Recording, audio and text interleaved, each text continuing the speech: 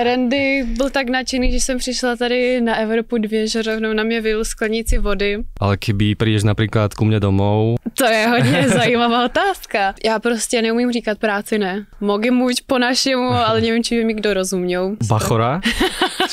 jo, to dělá moje babička uh, na nový Dostala se pozvání na návštěvu královské rodiny. Ale já jsem nikdy nechtěla úplně být jenom mm. reklama na Instagramu. Kdyby se cez noc například rozhodneš, že jdem si prefarbit vlasy na černou farbu? To nemůžu, to mám v kontraktu. Máš to v kontraktu. Pod pokutou.